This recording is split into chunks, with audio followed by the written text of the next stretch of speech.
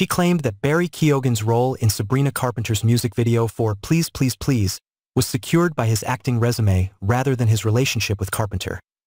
The 25-year-old singer of Espresso revealed to CBS Sunday Morning's Tracy Smith that she cast the video with her not even biased opinion despite the fact that the Oscar-nominated actor was sitting right next to her.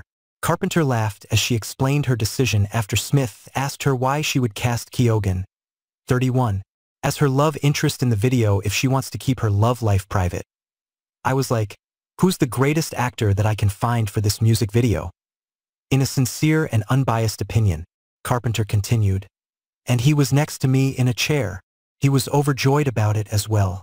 Additionally, Keoghan was already a fan of the song Please Please Please, which is said to have wry lyrical references to the Saltburn star.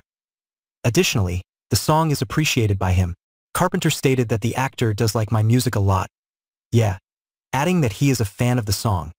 Since the pair first sparked dating rumors in late 2023, Carpenter has remained largely coy when it comes to discussing her relationship, which a source previously described to people as on and off.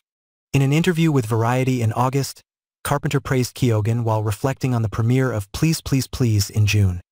She stated, I don't want to come across as biased, but I think he's one of the best actors of this generation.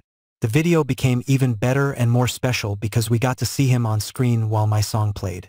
The Taste singer said that working on the video with the actor was one of the best experiences I've ever had in an interview with The Guardian that was published toward the end of August. She told the publication, I'm very honored and I got to work with such a great actor.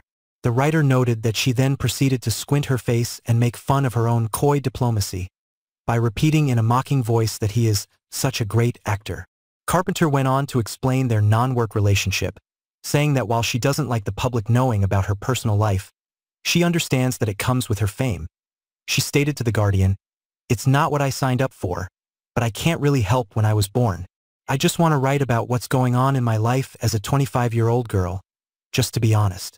But it's part of the deal, and I just have to be like, okay, she went on.